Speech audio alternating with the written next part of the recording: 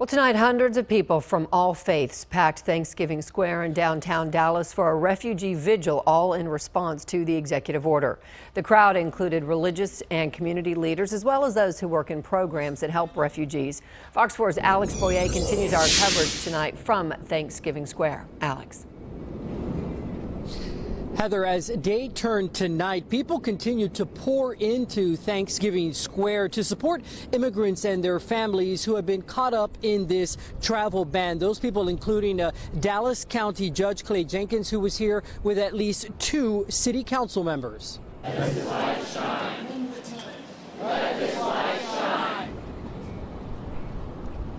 Hundreds of candles illuminated the sky over the interfaith vigil filled with people from all different ethnic backgrounds. We heard from several religious and community leaders, including one woman whose organization helps immigrants resettle in North Texas. She said last week a Syrian father and two children came to Dallas illegally to start a new life. Mom had to stay in Syria for a few days for health reasons. Now, because of this travel ban, she's unable to join her family in the U.S. I talked to several people people shortly before the vigil started who feel examples like this one shine light on just some of the problems with President Trump's travel ban.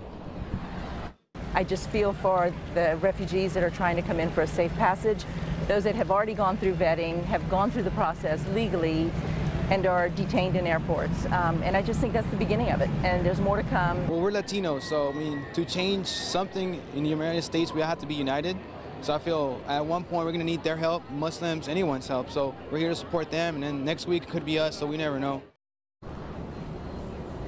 And while there may be less vocal than the people who attended this rally and those who are protesting at DFW Airport, uh, there is also many Americans who support restricting certain individuals from entering the country. One man who describes himself as a conservative activist says while he doesn't necessarily agree with the approach President Trump took with this executive order, he does believe immigration reform is very much needed we continue to see a steady stream of stories about folks that are very real victims of our kind of loosey-goosey approach to who comes and goes to our country.